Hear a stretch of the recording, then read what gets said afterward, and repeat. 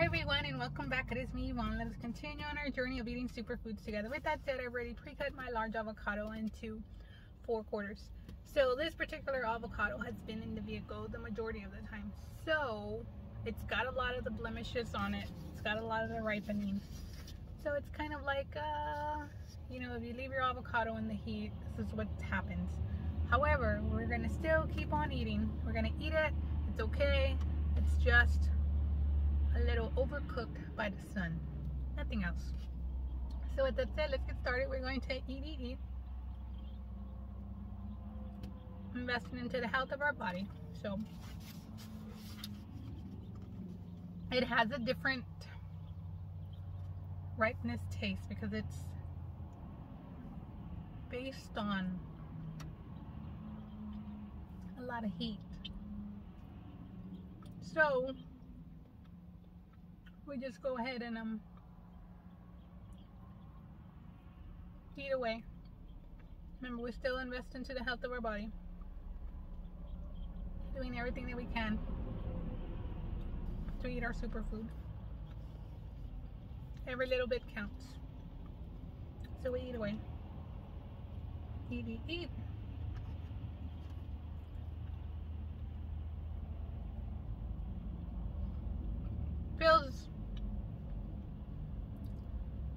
Extra mushy with a different kind of taste.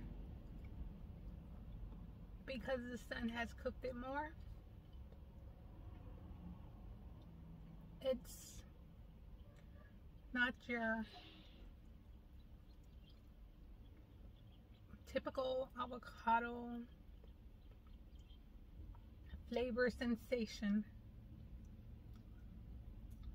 However Still avocado. So we eat away.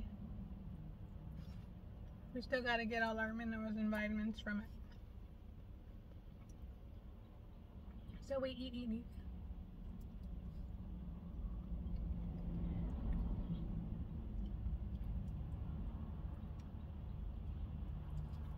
We're doing really well.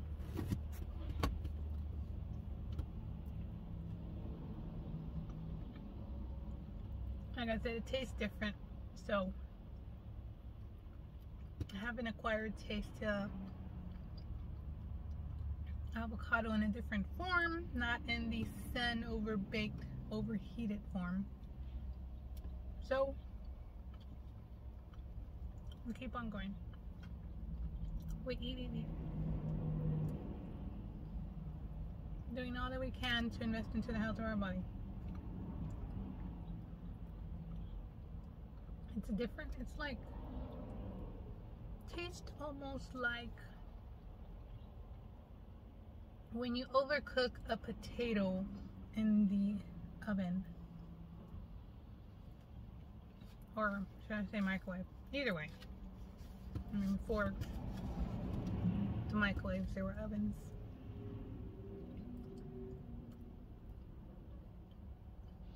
But avocados at a certain point always have like their buttery sensation. However, we eat away and we keep going.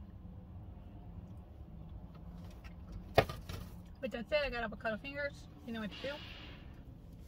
Alright, we're done for today.